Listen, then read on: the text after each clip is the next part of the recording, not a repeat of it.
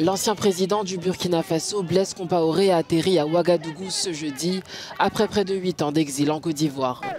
Alors que l'ex-chef d'État condamné à la prison à vie par contumace rentre au pays, les avocats de la famille de Thomas Sankara exigent qu'il soit traduit en justice conformément à la loi. Et il faisait l'objet d'un mandat d'arrêt qui n'a jamais été exécuté. Voilà pourquoi M. Blaise Compaoré a été condamné avec euh, Tousma Yassine Kafando par contumace.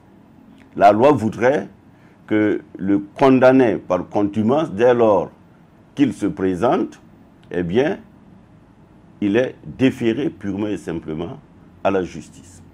Et c'est ce que nous, avocats des partis civils, c'est-à-dire des 13 familles, demandons purement et simplement à la justice burkinabé, aux autorités judiciaires, de prendre leurs responsabilités pour que... Lors du procès historique de l'assassinat de Thomas Sankara qui s'est déroulé entre octobre 2021 et avril 2022, Blaise Compaoré avait été condamné à la prison à perpétuité pour complicité dans le meurtre de son prédécesseur. Ce serait une forfaiture. Si Blaise Compaoré vient au Burkina Faso et il repart allègrement, ça veut dire que dans notre pays, il n'y a plus ni la justice ni la loi.